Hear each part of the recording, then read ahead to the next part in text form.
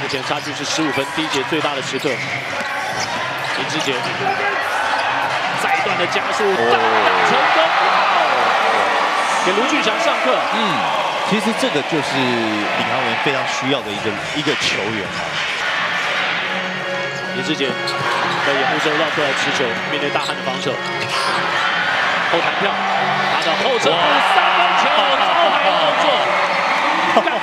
网去投票啊！最佳人气王林志杰拉票。野兽到了禁区，哦，这个拉杆轻松甩掉了打右。他的这种对比赛的专注度啊，以及他的信心度啊，都被呃都对内容啊会造成非常大的影响。好，志杰这个上篮，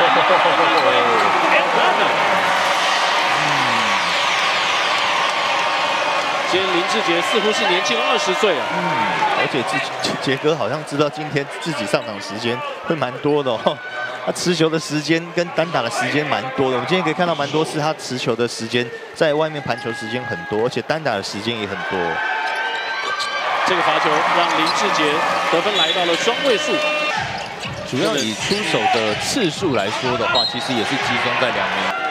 林志杰今年球季的第十场得分来到双位数的比赛，赛季将近六成九的罚球命中率，